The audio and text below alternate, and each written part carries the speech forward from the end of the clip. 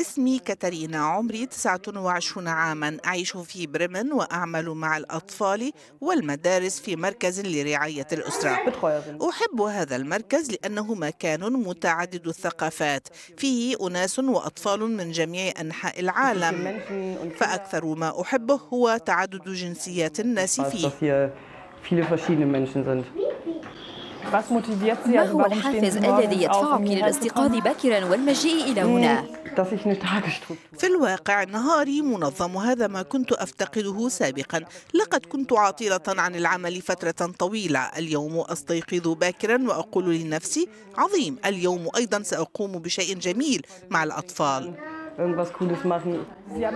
كان عمرك 18 عاما حين أنجبت أول طفل. هل يمكنك أن تشرحي لنا كيف عشت ذلك؟ وقد أصبحت أما صغيرة السن. إذ قلت أنه عليك أن تعايشي الأمر على طريقتك الخاصة. الأمر كان صعبا جدا وليس كما كنت أحلم به. عشت في عائلة مفككة ولا يمكنني الاعتماد عليها. ما هي المشاكل التي تواجهك يوميا؟ المشكلة الأساسية كانت العمل. كان علي أن أتدبر كل شيء الاهتمام بالأطفال والدراسة. مركز رعاية العائلة حيث تعمل كاترين يساعد الأهالي على رعاية أطفالهم الذين لم يلقوا بعد مكانا في مركز الحضانة أو أنهم يحتاجون لرعاية مؤقتة. وعلى العاملين فيه جلب وإيصال الأطفال إلى منازلهم أو مراكز الحضانة.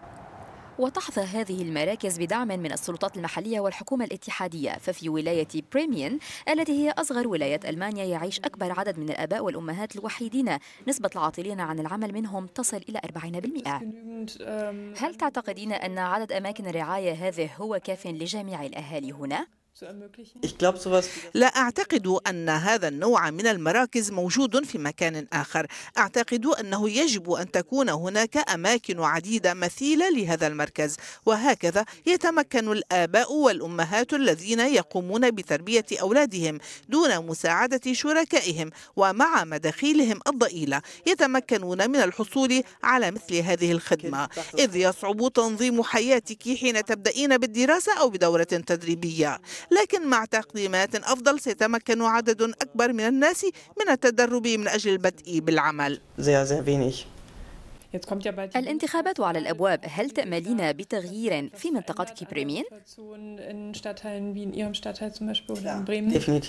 طبعا أتمنى أن يزور السياسيون هذه الأحياء كالتي أعيش فيها ليتعرفوا على نمط حياة الناس واحتياجاتهم اليوم يبدو أنهم يرون الخدمات الاجتماعية هامة كما العمل لكن لا يبدو أنهم يقومون بشيء أعتقد أنهم لا يقومون بما يكفي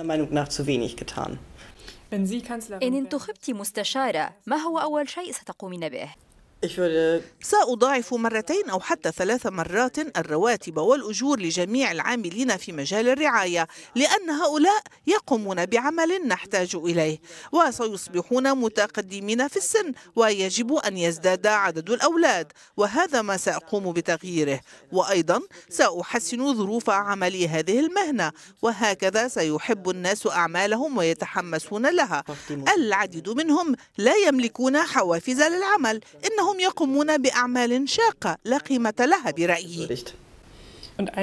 بريمين غالبا ما تكون في آخر التصنيف لناحية الفقر أو البطالة ونوعية التعليم من ناحية ثانية أنها ليست ولاية فقيرة وأنت أيضا لديك عمل جيد هنا والكثير من الناس على ما يرام فما رأيك بالمساواة في بريمين؟ لاحظت هذا خاصة حين نكون في وسط المدينة. هناك لدينا كل شيء مراكز التسوق الكبيرة والمقاهي في كل مكان. كل ما يلزم لمن يملك المال.